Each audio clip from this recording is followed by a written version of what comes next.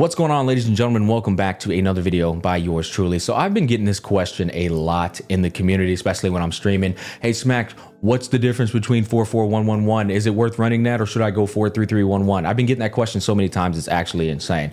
And as a free to play player, I think I can, you know, provide a good degree of insight on how it's been working for me. I have been personally rocking 44111 on my Calcharo, on my Havoc Rover, and on my Danjin. And that's because uh, Havoc and, and Thunder are the two elements in the game. There's another element too. I think it's the Moonlight set uh, where you can get two four cost bosses. You can farm two four cost bosses and they're obviously infinitely you can always farm and they're much more effective much more quick to do as opposed to going around the map and scout and you know scavenge hunting for those goddamn pesky three cost elites who don't drop a goddamn thing uh the the thunderbird is a pain in my ass him and flautist not only do they not drop as much as the other elites do they also don't drop the stat you want them to drop, which is electro bonus on the electric bird, who often at times keeps giving me all my fusion pieces. I don't even have a fusion DPS, right? It's really annoying. So how has it been working for me? Because I had actually said, okay, as a free to play player, I don't have a lot of resources. It's quite scarce. It's quite finite. Um, I can't just be doing this mid-max shit in the beginning of the game because I don't have a lot of resources. I need to have a set on somebody that's reliable, effective, and can last me a long time. What I've come to realize is if you run the 43311 and you have a dog shit crit value in your substats, you can't roll crit substats, that shit is ineffective and garbage. It is purely a mid-max method that you should be using once the game has been out for quite a bit of time and you've started getting good crit rate substats rolled in. Because what's going to happen is you're going to have these damage bonuses, right? You're a double electro damage bonus on the 2-3 costs or electro attack percent on the 2-3 costs. But your crit value is 30 over 200. Your crit value is 40 or 50 over 200 or 180. So you're, it doesn't matter if you have that extra damage bonus or that extra attack percent. You're not landing the crits as much as you could be. Whereas with the 44111, it's way easier running two crit rate pieces or maybe a crit rate crit damage piece, getting the extra crit damage very early on to the point where you don't have to stress as much as, as uh, you know about the sub stat crit value. You don't have to stress as much because you got those two double crit rate crit damage bonuses. And I have tested these builds. And if I'm being completely honest with you, I haven't gotten into the math yet into this game. Just getting off a little little side tangent. I haven't gotten in the numbers yet. Why? There's still so much to learn. There's so much to do.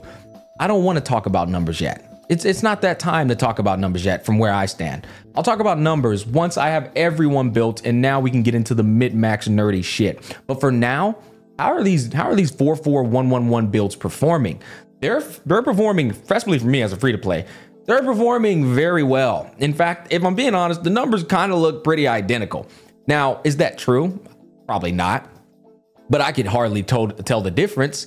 And I want to show you guys how my builds are looking on these characters that I'm using. And then I have a little showcase with Calcharo uh, against the Tower of Adversity against that douchebag bird, uh, showing you how he performed with the 44111 build good crit value, most importantly, good damage, and I was able to squeeze out a 12 star clear.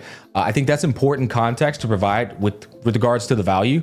The Havoc Rover is also doing good damage. She's ulting for around 34 to 40,000 damage with my Jianxin attached to her. She's like doing auto attacks for like 4K to 2K uh, in rapid succession. It's good damage that can last for a very long time. Honestly, I'm pretty sure you can use these builds until the ends of time if you wanted to, but I know everybody wants to have the best sub stats. However, in the beginning of a game, the launch of a game, you don't have that luxury. You really just don't. You don't have the luxury to be mid-maxing. Also, as I'm sure you guys are probably uh, wondering, Smack is the free-to-play account review coming soon. We want to see what your account looks like. I'll be doing that. I'll be doing that next very soon. All right, just bear with me a little bit. Uh, I got a couple more videos I want to talk about. Uh, I want to talk about the Echo grinding experience and how I was able to boost my account thanks to grinding tacet fields. Like, uh, there's a couple more things I want to cover, and then we'll do the full blown free to play account review. Uh, anyways, my Havoc Rover sitting at 90 over 226. That's thanks to the double. I've eaten a food buff. Take away 22%. And uh, yeah, the, the food buff gives 22. So 80, 70, 68. She's sitting at 68 if you take away the 22% crit rate food buff I've ate already. 68 over 226, which is actually very solid. Uh, if we come over here, I have this at plus 25. I have this at plus 25. She's rocking one crit rate and one crit damage. And that's because once you get Rover up to, I believe it's probably her last one. Yeah, once you unlock the S6, she gets a free 25% crit rate in the Dark Surge state. So from where I stand, if you're to do the 44111 uh, 1-1-1 build on her, it's better to just do crit rate here, crit damage here, and then, you know, uh, wait on that S6 and then she'll be looking solid. And like I said, this build, regardless of if the double Havoc bonus is better or, or Havoc attack percent, doesn't matter. I guarantee you the damage ain't gonna be that big of a difference. This build is way more easier to build and you're gonna get some uh, some good value out of it for a very long time. And like I said, I'd put my money on it and say the build can last till the ends of time. You don't need the best of the best builds. Now I'll be honest, I got some good sub stats on my on my builds because what what can I say? I'm the free to play emanator. The game blessed me all the time. Uh, look at that. Uh, man, I wish I could have actually recorded all of this because I was doing it off stream with my boy and I was literally calling these uh, these crit rate rolls and crit damage rolls. It was the funniest shit ever. Get not getting off topic though. This is my double uh, four cost 111 build on my Havoc Rover and she looks solid with it. Calcharo, he's at 60 over 185. He doesn't have the 22% crit rate built in. That's 60. If he does, if he did, it'd be at 82. What I just came to find out that the only people that are going to have that 22 built in are the people who are already uh, put on the field. So she's not at 76. That's 22 more. He's not at 53. That's 22 more. But these two, these three units aren't even on the field right now, so they don't get that buff. Calcharo is at 60 over 185 or 186. And here's the thing. First of all, he can get more crit damage on these subs, right? Uh, but the thing is, I haven't even built these up yet. Once I build these two to 25, that's another what? Three plus four, another 7% crit chance.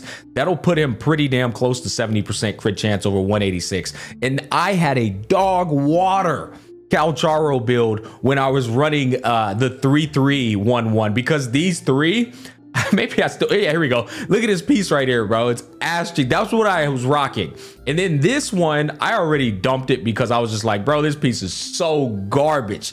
It was another three cost attack percent bird that just rolled like defense, HP, HP defense. So I said, screw this, bro. I'm getting two crit rate four fours and I'm calling it a day, man. And guess what? It's been doing me wonders. Uh, finally, my Danjin, I, I can actually just swap my Rover off of her build and slap it on Danjin if I wanted to. Or because two, uh, two four fours are so fucking easy to build, you can just grind the bosses for double crit rate again, which is what I did. So once I take this up, she'll be good to go and she'll have good crit rate value, man. And Danjin will be ready to rock and roll at sitting at a solid like 60% once I top everything off. So it's way easier to build, saves way more time. You don't have to stress about getting these goddamn annoying three cost echoes, and it'll last you for a very long time. It's good, it's good builds to invest in. Most importantly, at the launch of a game. It, at the launch of a game, your resources are just incredibly scarce. I can't stress that to you enough. And it's built that way to instill that gacha pressure into you to want to spend money on the game. So I recommend 44111 right now over the three threes unless you just get god tier rolls on those three three sub stats then sure you can run that uh, but most most likely a lot of people are probably running through the same thing I'm running into, which is trying to get those main stats. And then you get the main stats and then it's dog shit fucking sub stats. So your crit value is looking like this right here, which is horrible.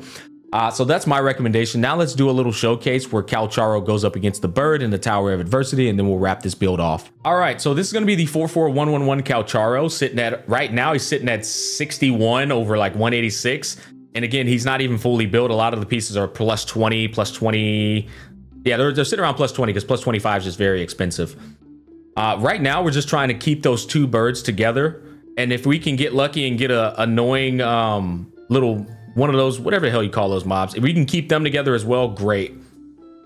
Um, I'm using Sanhua with Calcharo because her basic attack deepen does work on his ultimate basic attacks because they're not considered Resonance Liberation. They're considered basic attacks, which is nice. Um, pretty solid team though. It's, it's a good copium team for, uh, you know, a Yinlin holder. Once Yinlin drops, I'm swapping out uh, Sanhua for Yinlin, of course. Okay, right here, we got a whole minute and 15 seconds to get rid of this bird. And this is where you get to really see Calcharo pop off with the 44111 build. By the way, I, I, I love Sanhua. I really do. Notice that quick swap there? I don't even think the bird... Yeah, I think I quick swapped too early. The bird didn't even come down. That's unfortunate. Look at that damage, man. This is 4411 costs at level 6060. And I'm telling you, if you go look at a 43311 cow, it, bro, it looks about the same, guys. it looks about the same. And I guarantee you they worked 80 times as hard for that 4331. Spending all kinds of resources, man. You get that 44111, that shit's gonna hold it down for a hot minute, guys. I guarantee you. All right, there we go. Very nice. Notice before I popped old, I did the heavy attack uh, plunge because that gives a Calcharo a nice little damage bonus. One more dodge. This bird's annoying, bro. He never stops moving. A part of the time crunch. And there we go. That's a uh, that's a three star clear with the 44111. So there you have it, man. Uh, nice build. Good good budget build to hold you down until we get into the point of the game where we can afford to throw away resources uh, in an effort to get better stats. Uh, so there you have it. And Havoc Rover, it's the same concept. In fact, I'll show you the Havoc Rover damage so you don't feel like I'm bluffing and then we'll wrap up the video. All right, so this should be able to show you how much my Havoc Rover is doing with the 4411 cost while we were going up against this monkey. Here it is, look at this damage. All right, 4K, there it is. Here's an ult for 30, 34.5 good damage. Another like dude like a 30k from that ult too. So yeah that's the havoc rover with the 44111 build and all i did was get a boosted crit rate from the food i ate so it doesn't impact the uh the damage numbers you're seeing on the screen at all. Overall guys i think running 44111 is the best way to build your characters that can afford those builds like who have the fucking elements that can grind two four costs. I think that's the best method to go for right now at this stage in Wuthering Waves. Who cares about the damage numbers that are being mathed out by the theory crafters right now? Which I'm not trying to throw shade at them. They're doing a fantastic job. I wouldn't even stress about that. I'd be stressing about just getting characters built. And that's one of the best ways to do it in the beginning of the game right now. Thanks for watching, and I'll catch you guys on the flip side.